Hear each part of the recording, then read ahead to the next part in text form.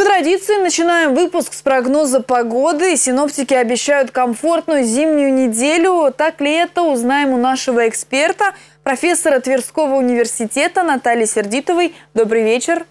Здравствуйте, Валентина. Здравствуйте, уважаемые клинчане. Характер погоды на этой неделе в регионе будут определять области низкого атмосферного давления циклоны. Правда, приходить они будут а, из разных частей света. Так, в понедельник во вторник в регион придет снежная посылка циклона южного, а, соответственно, в среду а, со стороны северо-запада подойдет атмосферный фронт североатлантического циклона. Температура воздуха в течение всей недели в дневные часы минус 8, минус 11 градусов. В ночные часы столбики термометров будут опускаться до минус 13, минус 14. Холодная ночь со вторника на среду и с четверга на пятницу. Там столбики термометров могут опускаться ниже минус 15 градусов. Снег практически всю неделю. Ветер северных, северо-восточных направлений 3-4 метра в секунду до пятницы. В субботу поменяет свое направление на южное. Атмосферное давление ниже нормы. В начале недели 740 мм ртутного столба,